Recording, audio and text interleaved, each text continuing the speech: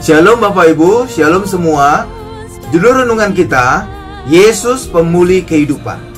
Kelaparan memiskinkan kehidupan Naomi, seorang Israel. Tetapi kematian suami dan dua putranya membuatnya benar-benar melarat.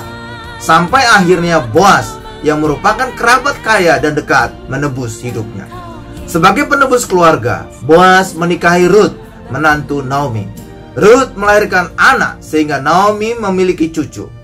Kelahiran cucunya memberinya hidup baru yang menyebabkan para wanita di desanya menyebutnya pemulih kehidupan dan pemelihara masa tuanya. Rut 4 ayat 14 sampai dengan 16 New King James Version. Boas adalah gambaran Yesus, penebus keluarga kita.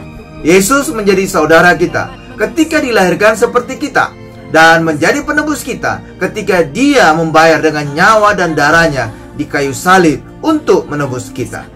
Yesus pemulih kehidupan kita dan pemelihara masa tua kita.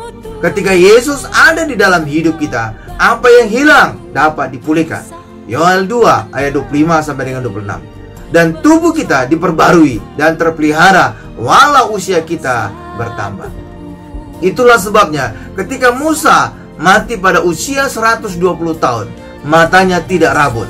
Kaleb pada usia 85 tahun masih bisa mengusir para raksasa dari tanah Kanaan. Allah benar-benar memelihara tubuhnya dan menjadikannya kuat untuk berperang.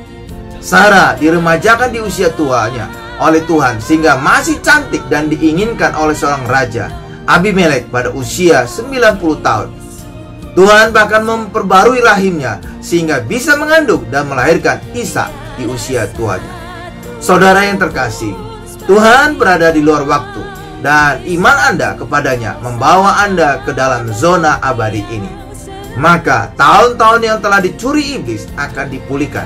Bahkan ketika umur bertambah, Anda tidak akan menjadi lemah karena Yesus pemulih kehidupan dan pemelihara masa tua Anda ada di dalam diri Anda.